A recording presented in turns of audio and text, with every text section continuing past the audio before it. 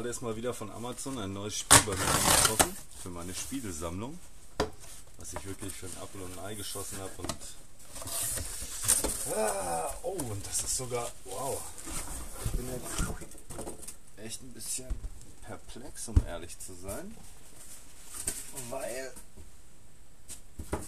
das Spiel, ich habe mir die englische Ausgabe geholt von Lords of Xidit. Xidit? Ich weiß nicht, ob ich es richtig ausgesprochen habe. Aber es hat mich, äh, glaube ich, grandiose 11 Euro, 13 Euro, ich weiß es nicht gekostet. Auf jeden Fall wirklich, wirklich günstig. Und äh, jetzt möchte ich euch mal zeigen, was da drin ist. Wow, für 13 Euro ist das nun wirklich ein Schnapper gewesen. Muss ich jetzt mal zugeben. Sogar für meine Verhältnisse. Ich mache ja sonst immer Schnapper, aber das, das Spiel ist schon äh, für 13 Euro richtig, richtig nice. Für 3 bis 5 Spieler, ab 14 Jahren aufwärts. Oh, ich pack's doch aus. Geh doch auf da.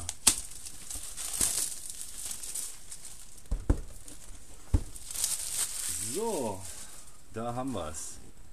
Lords of Sigit. Sigit. Fuck you. Was soll denn das? Ich habe keine Ahnung, wie es ausgesprochen wird. Ich erstmal eine Anleitung.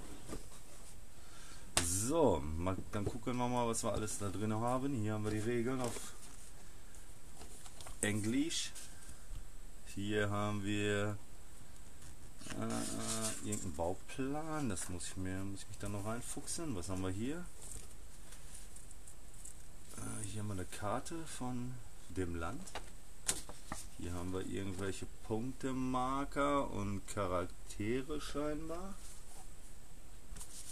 Hm, hier haben wir die Teile, wofür die Bauanleitung ist, wenn man das dann zusammensetzt. Okay. Für alle vier Spieler, klar. Zack. Wow. Wow. Ich hätte jetzt eigentlich bei dem Preis gedacht, dass es so ein Low-Budget-Game ist, aber das ist schon äh, ziemlich nice. Hier haben wir noch ein paar Hafenmarker, wofür diese Hafen auch immer sind. Dass diese Marker hier scheinen irgendwie Gegner zu sein, würde ich jetzt einfach mal behaupten. So umfangreich. Warum ist das so umfangreich? Was soll denn das? mehr Marker. Hier haben wir dann scheinbar jetzt. Oh, komm her, Spielbrett. Einmal das Spielbrett bitte. Oh, ich hasse es, Spielbretter auseinander und dann wieder zusammenzukriegen. Oh, wow. Das ist sogar. Oh Gott, das ist ein Mega-Spielbrett, ist mir gerade mal aufgefallen. Okay, das werde ich jetzt auch äh, mal da drinnen lassen. So und. Okay, und hier haben wir so viele Sachen in kleine Tütchen verpackt, so wie Unterlegscheiben und da glaube ich, um dieses Teil da zu, diese Teile da zu installieren. Hier haben wir äh, Ständer für die Figuren, würde ich sagen, für die Charaktere. Hier haben wir, keine Ahnung, hier haben wir Soldaten, hier haben wir kleine komische Gnomenteile oder Elfen sollen das sein, ich weiß es nicht. Irgendwelche Zaubererviecher, Bauern,